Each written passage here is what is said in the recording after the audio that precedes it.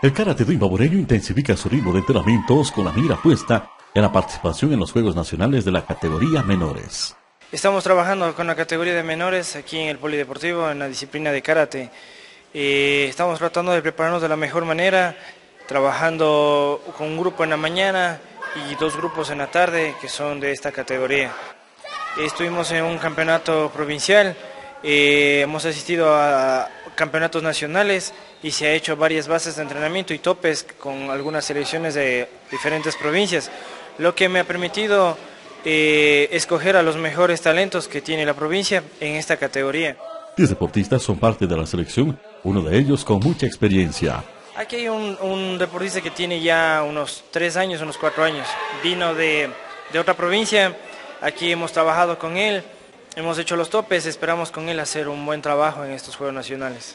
El instructor de nuestra selección hizo una proyección con los deportistas. Por lo menos puntuar alrededor de unos, unos 40 puntos, no, no más, porque los deportistas no son, como le, le, comento, muy experimentados. A los campeonatos nacionales asistimos con cuatro deportistas o tres deportistas en esta categoría. De su parte, los seleccionados de la provincia azul expresaron su complacencia por ser llamados a integrar la nómina de esta disciplina. Representar a la provincia es que tengo que quedar bien en el karate y ganar los combates que he hecho. Muy preparado, no tengo miedo a nada ni a nadie y siempre esperando lo mejor y, ganar, y es ganar la medalla. Se recupera de una lesión, ¿verdad? Sí. Bueno, ¿qué es lo que le hace falta para tener ya al 100% su potencial? En realidad nada, solo ayuda de mi sensei y mucho compañerismo. ¿Qué significa lucir la camiseta de la selección imbabureña? Uh, un tremendo peso al decir que nosotros representamos a, a, la provincia y sin ofender a los demás, nosotros somos muy, muy avanzados. Me siento bien porque aquí puedo aprender más. ¿Están contentos, tranquilos con lo que se vive? Sí. ¿Qué es lo que viene trabajando en estos últimos días? A mí me enseña catas. Durante este mes de noviembre se darán más competencias previa al desarrollo de los Juegos. Vamos a tener otros chequeos técnicos. Se nos viene un campeonato en Cotopaxi, otro en Quito.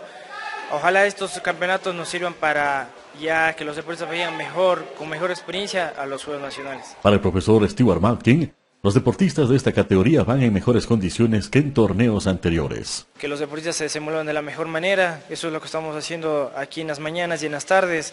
Es eh, la primera vez que salimos en kata y combate en esta categoría, el año anterior, eh, a ver si salimos el año anterior en kata, pero en femenino no tuvimos. Entonces ahora ya vamos, sí, ya está más completo el equipo, esperamos pues dar el mejor resultado a la provincia. Los Juegos Nacionales de la categoría menores Esmeraldas 2013 serán los primeros días de diciembre, de los cuales Imabura será su sede, donde se incluye el Karate Do, por lo que los deportistas contarán con el apoyo de su afición local. Con imágenes de Galo Vinuesa, Hugo Bolilla, Travesía Deportiva.